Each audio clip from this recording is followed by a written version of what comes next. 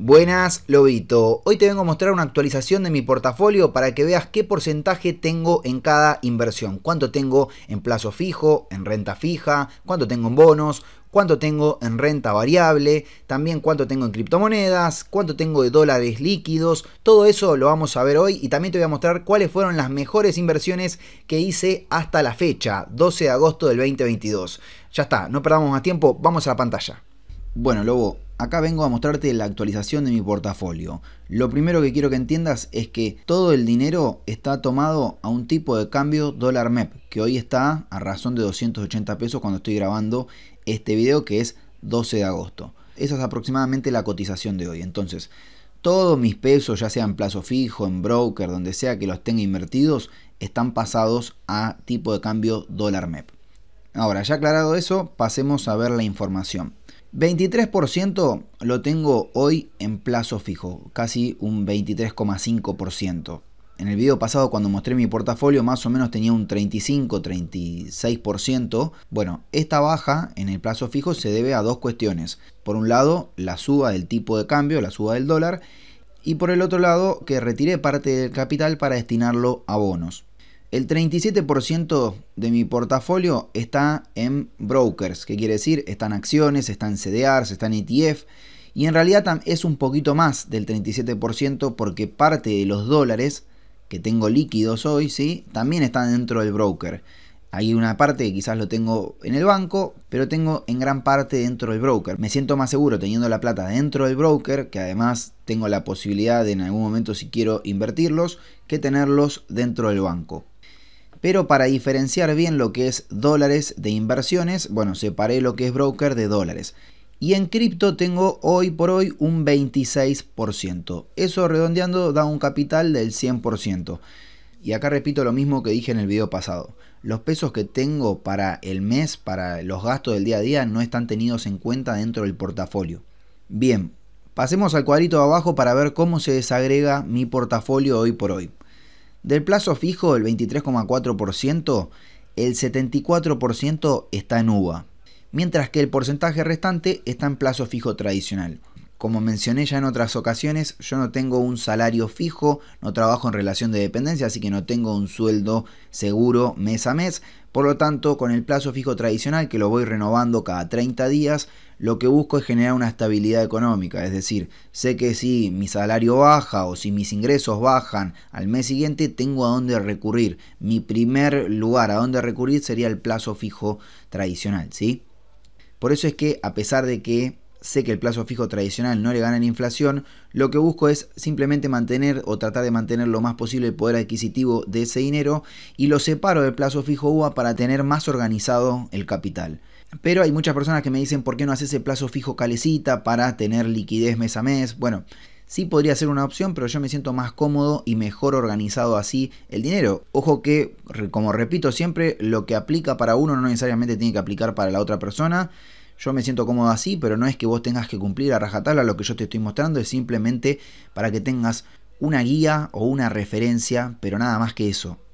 Bien, en los brokers en total, contando todos los brokers que tengo, tengo un 36,9%, casi un 37% y se desagrega de la siguiente manera. En CDRs un 61% de lo que tengo dentro de los brokers. Y dentro de ese 61%, casi un 94 o un 93,4% aplica a Mercado Libre, lo tengo colocado en Mercado Libre. Sí, sé que para muchos puede ser bastante, de hecho es bastante riesgo el que decidí asumir, pero bueno, es una decisión personal, voy a muy largo plazo con Mercado Libre y el capital que destiné ahí es un dinero que evalué en su momento que no necesitaría en el corto plazo o por lo menos en base a la situación que me encontraba, no lo necesitaría, y en caso de necesitar dinero, acudiría a otras inversiones como por ejemplo la renta fija, bono ser, plazo fijo, y no ese capital con el cual voy a largo plazo. Así que es algo importante evaluar. Igual en un ratito te voy a mostrar más en detalle todos los CDRs, todos los ETF que tengo dentro de un broker. Continuemos. En bonos en pesos tengo un 24% dentro de lo que respecta a broker, ¿no? Dentro de este 37%, un 24% están bonos y están los siguientes bonos. TX26, que lo tengo desde enero, ¿sí? De este año. TX24, que lo incorporé hace poco al portafolio, y también LED. En LED sinceramente no tengo nada muy importante, solamente lo que mostré en el video cómo invertir en LEDs, bueno, eso que utilicé como ejemplo es lo que tengo, que eran unos 4.300 pesos aproximadamente. En bonos en dólares, ¿sí? Tengo muy poquito del portafolio, muy muy poquito, 0,3%. Igualmente estoy pensando en incorporar más adelante, pero por el momento tengo muy muy poquito, 0,3% y está colocado en el AL35. Caución hoy por hoy no tengo nada. ETF tengo un 9%, ya está más que explicado en el canal qué son los ETF. Te voy a estar dejando ahí en la esquina superior derecha por si no viste alguno de esos videos. Igualmente falta seguir subiendo contenido. Deme en tiempo, deme en tiempo. Bueno, acá del lado derecho vas a estar viendo lo que tengo en cartera, pero te repito, ahora vamos a ir al broker y vas a ver todo lo que tengo. Sigamos, acciones E. ¿Qué son acciones E? Bueno, son acciones del exterior, en realidad acciones que tengo en el exterior y especialmente las tengo en un broker que se llama eToro. La verdad que tengo poquito capital, es un 6% de todo lo que tengo destinado en brokers. ¿Por qué tengo tan poco dinero? Bueno, más que nada por una cuestión de la dificultad para hacer llegar el dinero. En realidad, más que la dificultad, lo sé hacer tranquilamente, pero los costos te termina siendo elevado hacer llegar el dinero. Así que por una cuestión de comodidad y de facilidad me quedo en brokers argentinos, pero hay que tener en cuenta que tener el dinero en un broker exterior está bueno porque salís del riesgo argentino, ¿no? De todo el riesgo que conlleva tener la plata acá, sea en un broker, sea en un banco, el riesgo mismo argentino que podemos estar corriendo. Entonces, al tener la plata en un broker del extranjero, salimos de ese riesgo. Acciones nacionales, hoy por hoy no tengo nada. Tenía IPF y las vendí hace muy poco. Y ahora pasemos a lo que es cripto. Bueno, en cripto tengo un 26,1%. De este 100% dentro de cripto, podríamos decir, el 23% está en DAI, el 27% está en USDT, son criptodólares y monedas estables que siguen el valor del dólar. Las dejo generando una pequeña renta, por ejemplo, USDT las dejo generando un 10% de tasa en Binance, un 10% anual, y DAI me genera aproximadamente un 6% anual, pero no más que eso. Y lo demás, dentro de cripto, el 50% restante está en criptomonedas volátiles. Dentro de las criptomonedas volátiles, en la que tengo mayor cantidad, mayor capital, es en Ethereum. Compré con la última caída que hubo, ¿sí? compré a, más o menos cuando estaba 1100 dólares aproximadamente, o sea que hoy estoy teniendo una recuperación importante de ese capital. Por eso eso también se ve afectado en esta parte del portafolio que antes en el video pasado tenía más o menos un 20% en cripto, un 22% en cripto, bueno, ahora tengo un 26% y está reflejado un poco por esto, por el incremento de Ethereum. Después tengo Cardano ya hace mucho tiempo, tengo Tron, tengo Bitcoin, tengo Litecoin, BNB y Matic. Ese es todo mi portafolio cripto. Y acá vemos nuevamente lo que tengo dólar cash, ¿sí? Recordemos, dólar físico sin invertir. Bueno, físico, efectivo, sin invertir. Total, cerramos y esto me da un 100% de mi portafolio. Bien, debajo, como ya mostré en el otro video, tengo una manera distinta de medir el portafolio. Por un lado, renta fija, por el otro lado, renta variable, por el otro lado, liquidez y por el otro lado, cripto. ¿Qué tengo en cuenta dentro de renta fija? Bonos ser, bonos en dólares, plazo fijo y nada más, para de contar. En renta variable, ¿qué es lo que tengo en cuenta? CDRs, acciones e ETF. Y nada más, para de contar. Liquidez, todo lo que tenga de liquidez, sean pesos o dólares. En este momento prácticamente la liquidez la tengo en dólares, ¿sí? Acá por una cuestión de redondeo sale 14%, pero es 13,6%, ¿sí? Es esto que tenemos acá arriba. Cripto, bueno, el 26% que tenemos en cripto y todo esto suma un 100%. Como estás viendo a la derecha, y como ya mostré en el video pasado, esto está exactamente igual, este es el portafolio ideal que a mí me gustaría tener y que uso como referencia. 40% en renta fija, un 40% en renta variable, un 10% de liquidez y un 10% en cripto. ¿Qué pasa? Es un portafolio ideal, no todo el tiempo puedo estar acoplando mi portafolio a ese portafolio ideal. Es decir, como ya mencioné, hay que tener un rebalanceo cada tanto tiempo. Uno tiene que decidir cada cuánto va a estabilizar el portafolio, ¿no? Es decir, bueno, cada cuánto voy a tratar de imitar a mi portafolio ideal. Bueno, en mi caso sería cada seis meses y el próximo rebalanceo que yo tendría que hacer en base a lo que yo estimé fue para septiembre. Ahora, ¿qué pasa? En mi caso es muy difícil respetar este 10% en cripto. Te voy a explicar por qué. Principalmente porque parte de mis ingresos muchas veces ingresan por cripto, DAI o USDT, hago algunos cobros en criptodólares, entonces muchas veces prefiero dejarlos en esas monedas antes que tener que pasarlos a pesos. Y más ahora con todas las restricciones que tenemos, ¿no? De que si compramos dólares no podemos comprar esto, no podemos comprar lo otro. Bueno, entonces Muchas veces prefiero dejar en estas criptomonedas, pero sé aún así que estoy corriendo un riesgo alto. Entonces voy evaluando, me gustaría reducir, pero si reduzco acá después no tengo forma de comprar dólares. Entonces me quedo parado nuevamente en pesos y si me quedo en pesos me tengo que ir a colocarlo en plazo fijo o en algún instrumento de renta fija. Entonces por esa cuestión se me va haciendo complicado reducir la cantidad que yo tengo en cripto. Una última cosita, liquidez en dólares. Algunos pensarán, che, pero 14% es mucho dinero parado, ¿no es conveniente sacarle alguna renta, por lo menos algo de manera conservadora? Bueno, cada uno deberá evaluar eso, ¿no? Siempre es conveniente tener un equilibrio entre ahorro e inversión. Y podría considerarse dentro de mi portafolio esta liquidez como un ahorro directamente y no como una inversión, ¿sí? Como un ahorro. Y yo siempre digo que hay que tratar de tener un equilibrio entre ahorro e inversión. No estar ni todo invertido, ni tampoco todo en ahorro, porque sabemos que esa plata, si solamente la ahorramos, termina perdiendo poder adquisitivo, termina perdiendo contra la inflación. Acá estoy dentro de Invertir Online para mostrarte todos mis activos como te digo siempre, ten en cuenta que los videos que hago y las compras que hago muchas veces utilizo una cuenta de ejemplo en la que voy guardando esos activos para que vos lo veas, pero no es mi portafolio final, no es mi portafolio real. Hoy te voy a mostrar todos los activos que tengo en cartera. Comenzamos con el AL35, en este momento me viene dando un 10% de rendimiento. Seguimos con el ETF ARC Innovation, me está dando un 66% aproximadamente de rendimiento. Debajo tengo Alibaba, me viene rendiendo muy muy poco, ya las tengo hace mucho tiempo Alibaba, pero bueno, es una empresa muy golpeada de China. Creo igualmente que puede tener una recuperación importante, por eso la mantengo a largo plazo, ¿no? Ya la tengo hace más de un año, incluso en algún momento incorporé algún que otro CDR más de Alibaba y, ahí los tengo, esperando a que en algún momento me den eh, buenas noticias. Coinbase, sin duda una de las que mejor me está rindiendo en porcentajes es Coinbase. Esta es una plataforma de compra y venta de criptomonedas que logró cotizar en bolsa, es decir, salió a cotizar en bolsa el año pasado y hace poco tiempo las incorporaron en lo que es CDRs. Así que cuando la incorporaron, la compré y bueno, por el momento los resultados vienen bien. Como te digo, siempre voy con perspectiva a largo plazo, así que por más de que esté viendo este rendimiento, no voy a vender. Por una cuestión también de que en estos activos estoy cubierto contra el tipo de cambio.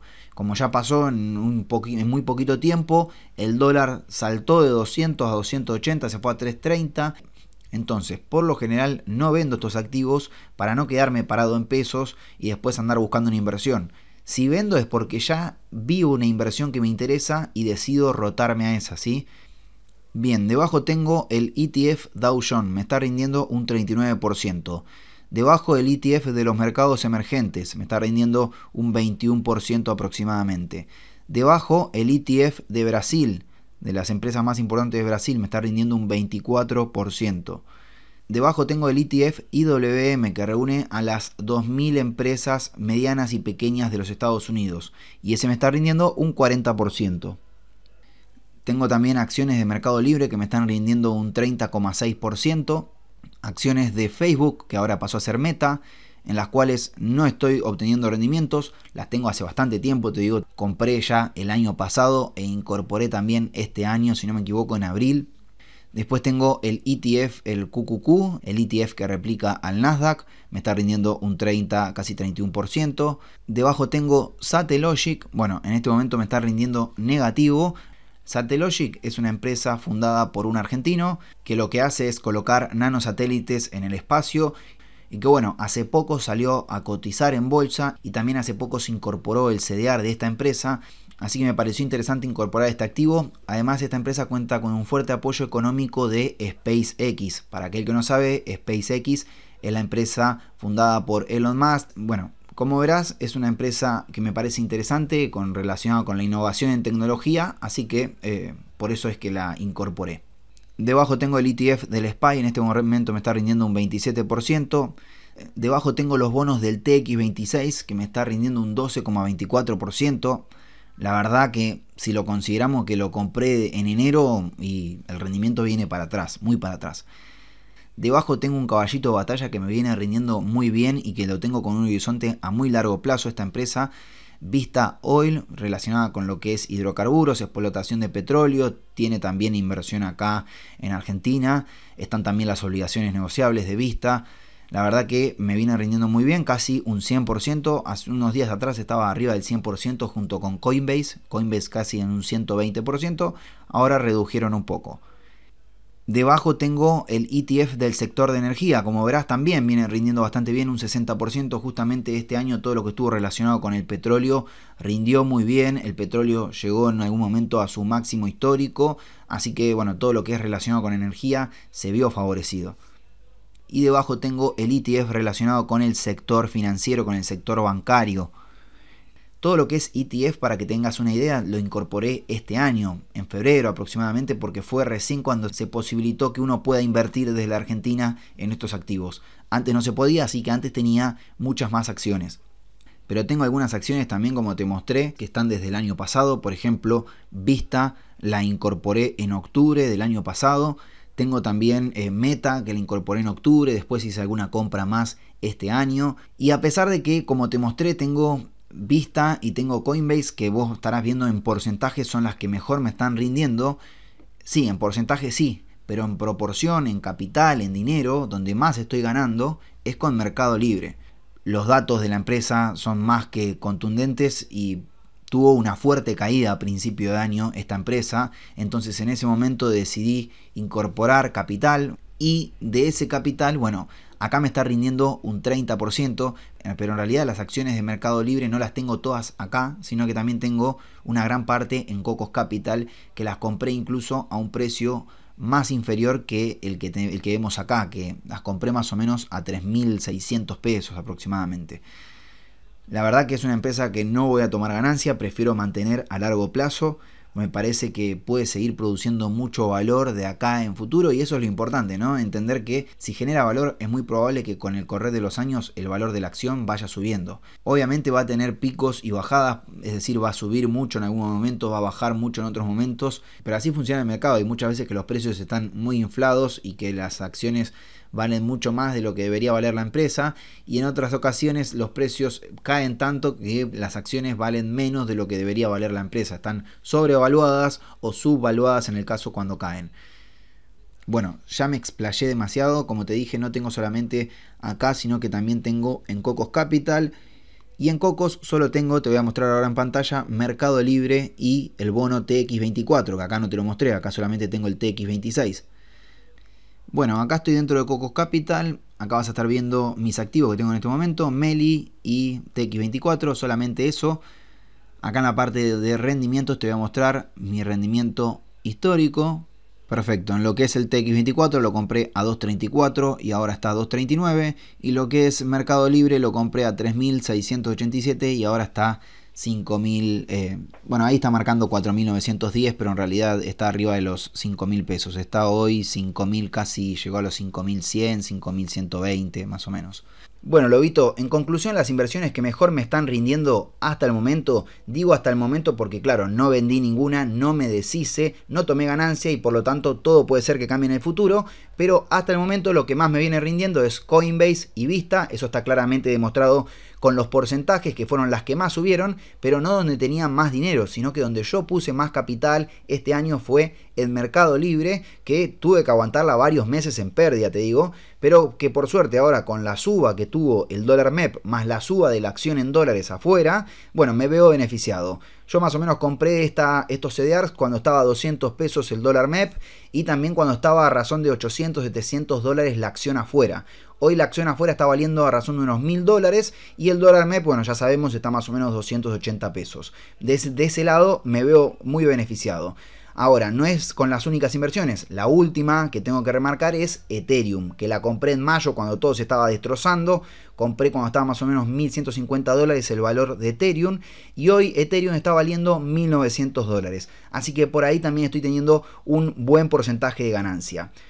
Bien, Lobito, y ahora antes de irme quiero aclararte dos cuestiones. La primera y más importante es que no copies mis inversiones. Es decir, te puede servir como referencia, como guía mi portafolio para entender la importancia de diversificar, de combinar distintas herramientas de inversión, renta fija con renta variable, de tener liquidez, de tener un equilibrio entre ahorro e inversión. Todo eso te puede servir y es útil, pero no que copies a rajatabla las inversiones en las que yo estoy. ¿Por qué? Porque puede ser que de acá en adelante no sean las mejores inversiones o que no rindan igual o que incluso tengas que soportar por mucho tiempo pérdidas. Entonces, si vos de casualidad vas a elegir invertir en alguna de las inversiones que yo hago, tenés fundamentos, tenés tus motivos por el cual vas a ingresar y ingresá teniendo en cuenta que puede ser que por un buen tiempo no te den ningún rendimiento. Ingresá con ese horizonte de largo plazo. Así que eso es el primer consejo. Y la segunda cuestión que quiero que tengas en cuenta, Lobito, que obviamente esto va a depender un poco más del perfil de inversor de cada uno. Algunos van a ser más agresivos, otros van a ser más conservadores, pero es importante entender que hay que tener un equilibrio entre renta variable y renta fija. Renta fija me refiero a bonos, plazo fijo, todo ese tipo de instrumentos, mientras que renta variable son criptomonedas, acciones, CDRs, ¿sí? ETF, todo eso es renta variable. ¿Por qué hay que tener un equilibrio? Porque bueno, ahora en este último tiempo la renta variable recuperó por la suba del dólar, también porque está habiendo una recuperación en la bolsa de Estados Unidos, recuperaron un poquito las cripto también. Y eh, hace un tiempo atrás, no, venían para atrás, ¿sí? te diría hace dos meses atrás, venía todo en rojo, todo mal, mientras que lo que mejor venía rindiendo era la renta fija. Entonces, por eso la importancia de tener un equilibrio para poder dormir tranquilo, porque hoy que está subiendo la renta variable, parecería que la renta fija es una porquería, pero cuando la cosa se pone gris, cuando se pone negra en lo que es renta variable, cuando todo cae, no sabemos a dónde acudir y en ese momento lo que nos va a tranquilizar, lo que nos va a equilibrar un poco la cartera es la renta fija. Así que esa es la segunda cuestión, la segunda característica que quería que tengas en cuenta antes de retirarme. Bueno, Lobito, y ahora sí, me retiro, espero que te haya gustado el video. Ah, y posiblemente, esto casi me lo olvido. Posiblemente te estés preguntando, ¿el hombre de la bolsa no tiene obligaciones negociables en su portafolio? ¿Qué pasa? ¿Son una mala opción? ¿Son una mala inversión? Bueno, no, nada de eso. Simplemente no tengo en este momento, pero considero que las obligaciones negociables son una muy buena alternativa y posiblemente esté incorporando en mi portafolio próximamente. Así que seguramente las voy a estar mostrando, ni bien las incorpore, te voy a mostrar por qué elijo la que elijo. Así que si te interesa eso, si querés ver, bueno, no te olvides de suscribirte, de activar la campanita para que te llegue la cuando subo un nuevo video. Y nada más, ahora acá debajo te voy a estar dejando distintos videitos que si todavía no viste, te los recomiendo para seguir aprendiendo sobre inversiones. Y acá te voy a estar dejando el botoncito para suscribirte si todavía no lo hiciste. Me parece que estaba mirando mal a la cámara. Ahora sí, nos vemos hasta la próxima edición del Hombre de la Bolsa. Chau, chau.